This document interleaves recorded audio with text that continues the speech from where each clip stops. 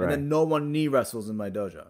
You know, because the knee versus knee that doesn't exist, and a lot of dojos do that still. There is no knee wrestling in real life. It just never happens. Yeah. like the way to get advantage is to stand up, and if I stand up, you're gonna stand up. Let's have a look at the time two judokas decided to knee wrestle.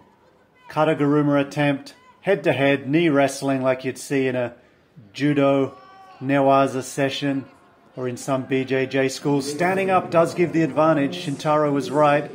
Udegarami opponent tries to go behind, but she sits back into guard, jumps over trying to land into an Osaekomi position but gets rolled through. She's going to be called for Osaekomi, but is she going to get the submission? Yes, she does.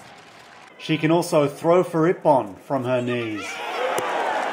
This low Ouchi-gari is fairly popular these days amongst the Korean and Japanese women. I think this is the best of the Ippons I've seen attacking from this very low position. You can see her driving off her rear leg, totally caught her opponent unawares, pulling that sleeve down with both hands and driving forward with the head. Here's the most unusual low Ouchi-gari I've seen. So Chishima Maeda's sleeve hand was controlled. So she tries one Ouchi-gari, then takes a belt grip and finishes with a second Ouchi-gari.